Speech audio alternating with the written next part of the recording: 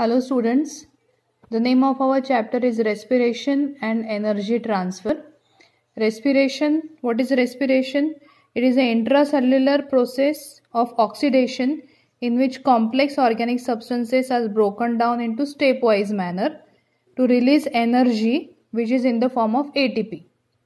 Now let us study the place or site where this respiration occur during the aerobic respiration.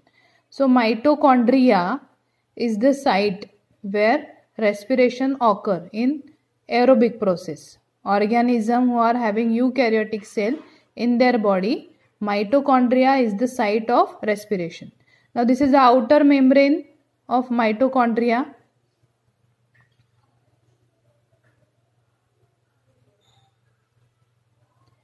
Outer membrane, basically mitochondria is bounded by two layers, outer membrane and then inner membrane.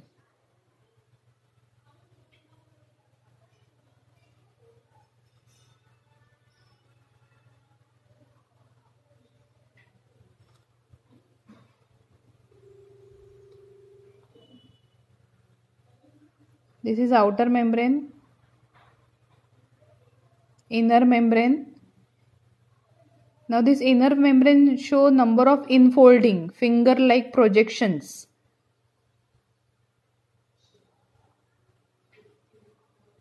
These infoldings are called as cristae. These finger-like projections are called cristae. Outer membrane, inner membrane. This is membrane bound cell organelle. So inner membrane and this is mitochondria. It, it show number of infolding. This infolding are nothing but the cristae. These are the cristae, finger like projections.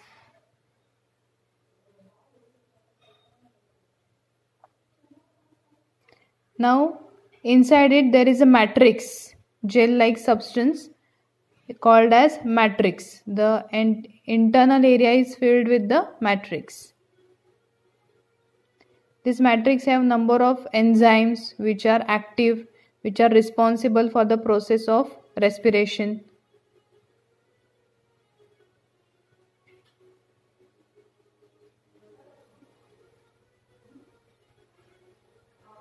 So this is matrix.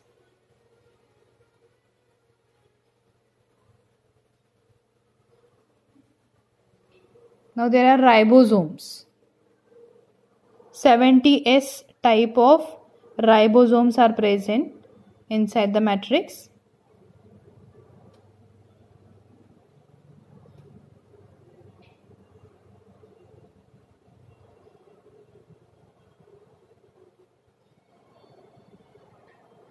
Now in matrix there are enzymes present and very important there is a presence of its own DNA circular helical DNA therefore mitochondria is called as self automated semi automated cell organelle. It can do its replication by its own. Using this DNA, replication can be done. Mitochondria can make its, made its copy using its own DNA.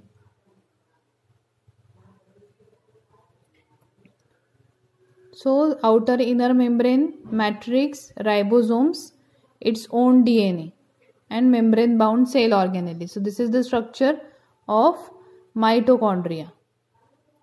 Now mitochondria play important role in aerobic respiration. Enzymes are very very important in each and every biochemical reaction during the respiration process. There are different sites.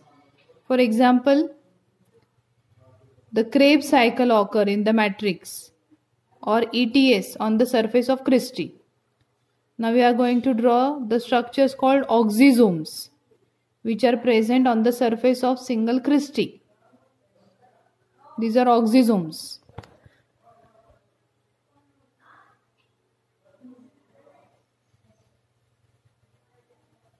Oxysomes or also called as F1 particles. F1 particles. Entire all these cristae are such covered with the such kind of F1 particles. Now here I am going to show you in enlarged form. This is a single cristae. Single cristae. Outer membrane, inner membrane, inner membrane have infolding called cristae and cristae have these F1 particles on the surface.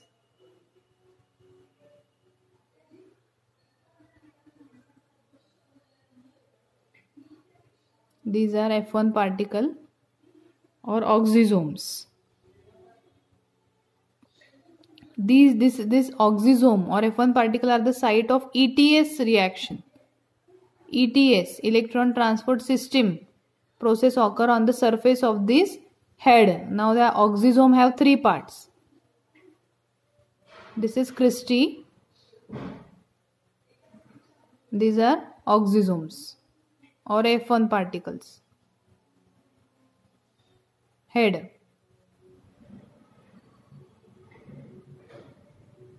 Okay, now I am going to show you a single oxysome or single F1 particle.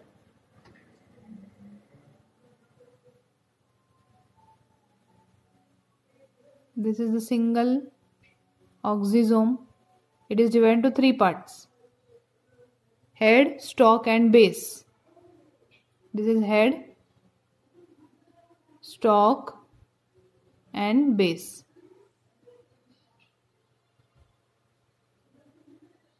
So in this way oxysome have three parts and this is the area where ETS process occurs. So respiration complete in different parts like first glycolysis occur in cytoplasm. Glycolysis is the first step of respiration. Whether it is aerobic or anaerobic, glycolysis occur in both the organism. The site of glycolysis is cell cytoplasm called cytosol then link reaction, then Krebs cycle, and then ETS, electron transfer system. Glycolysis occur in cell cytoplasm. Now this is a cell. There are so many cell organelles like nucleus is there, mitochondria, Golgi bodies, vacuole, so many cell organelles are there. Okay, mitochondria is also there. This is the mitochondria.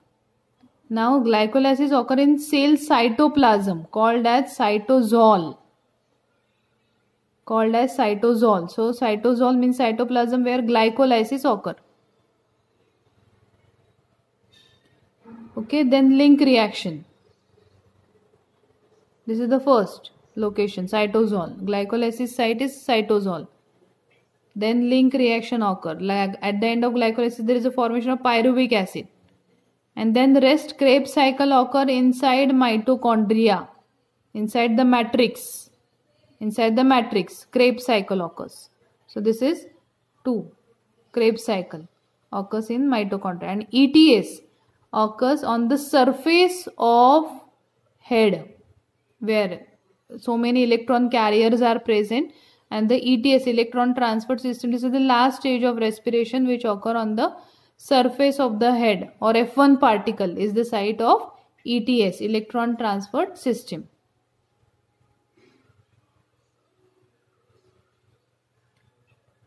Glycolysis link reaction and Krebs cycle and ETS. This is how the entire respiration process is completed. Aerobic respiration. Glycolysis is common in both aerobic and anaerobic organism. For example, anaerobic occurs in some prokaryotic organism. For example unicellular yeast or which is unicellular fungi or uh, bacteria like lactobacillus. In all organism whether it is aerobic anaerobic glycolysis is common. But then link reaction Krebs cycle and ets have different locations which occurs in aerobic respiration and having different sites glycolysis basically occur in cytosol.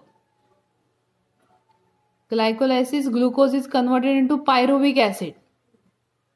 Link reaction acetyl CoA. Then Krebs cycle where actually water molecule and CO2 releases.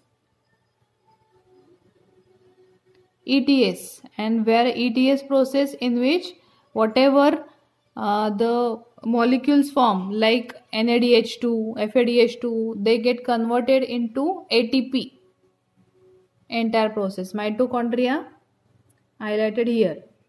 This is the mitochondria where Krebs cycle occur and then ETS on the surface of oxysome F1 particle which is the site of ETS electron transport system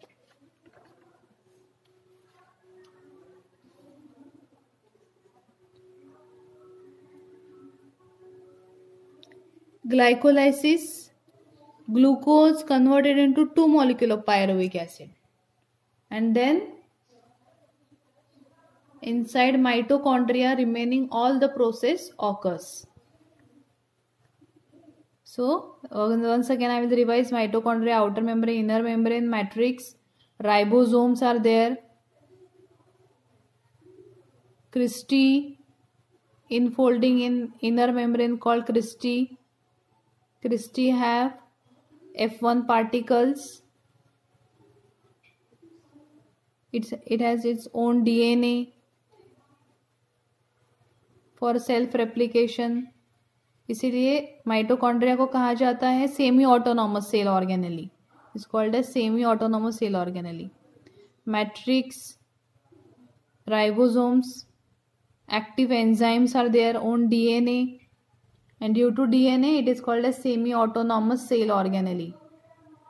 Cristae oxysomes or F1 particles which show ETS.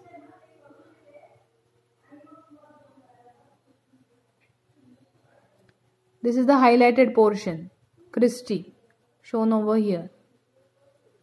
उसके surface पे बहुत सारे oxysomes हैं and then single oxysome is highlighted here this is the f1 particle single oxysome and on the surface of oxysome the ETS process complete. That is electron transfer system like cytochrome. So many electron carriers are there. So this is how the site of respiration that is the structure of mitochondria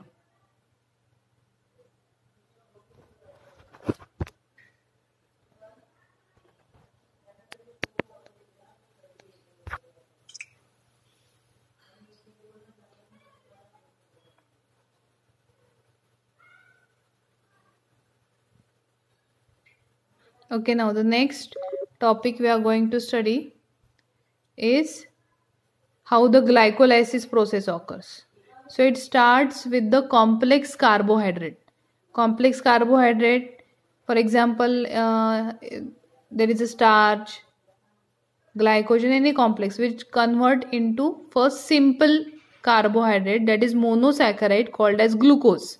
This is simple carbohydrate so complex converted into simple जैसे lactose है तो वो glucose में convert होगा।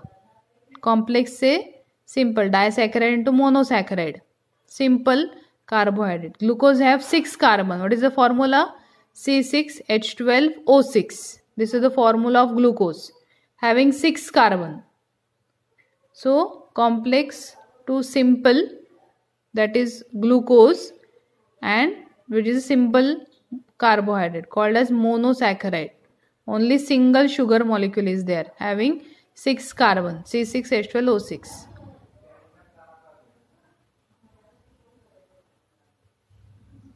This is glucose molecule.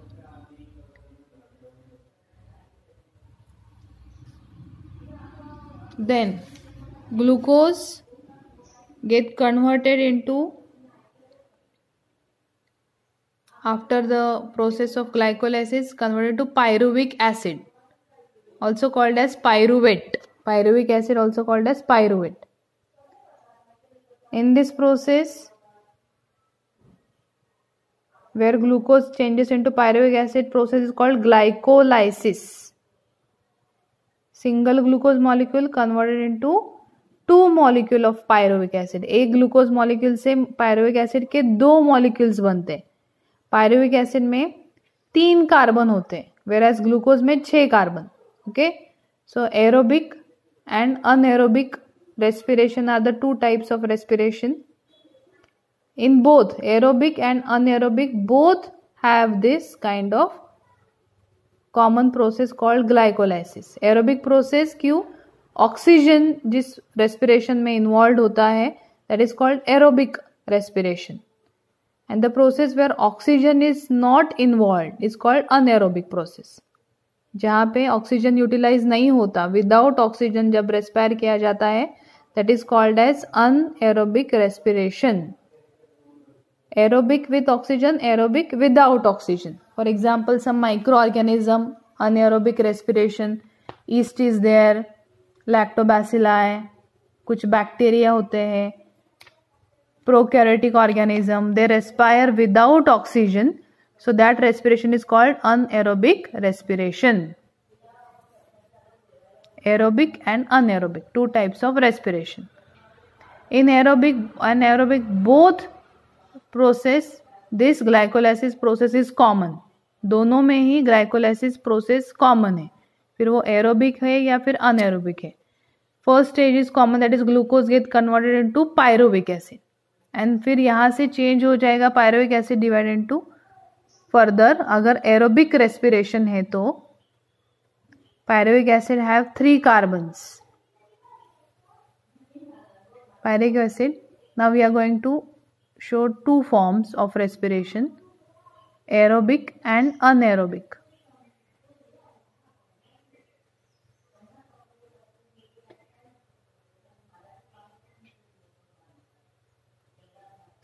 aerobic and anaerobic in aerobic process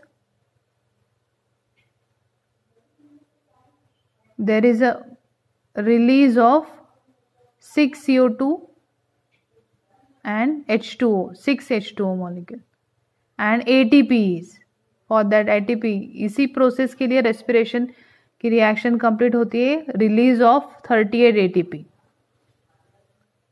after Krebs cycle and ETS ETS और Krebs cycle के बाद pyruvic acid जो है that releases six molecule of CO two and six molecule of water with 38 ATPs now anaerobic process anaerobic process में pyruvic acid से decarboxylation की process होगी reduction की प्रोसेस होगी reduction decarboxylation and then anaerobic respiration only two CO two molecule are released only two यहाँ पे oxygen है Krebs cycle में एरोबिक में यहाँ पे ऑक्सीजन एबसेंट है तो there will be no release of water molecule यहाँ पे वाटर मॉलिक्यूल जो है रिलीज़ नहीं होगा ATP formation is there but but ATPs are only 2 whereas in aerobic there are 38 ATPs and 6 water molecule here no water molecule in anaerobic and 2 molecules of ATP so energy formation is very less in anaerobic only 2 ATPs whereas in aerobic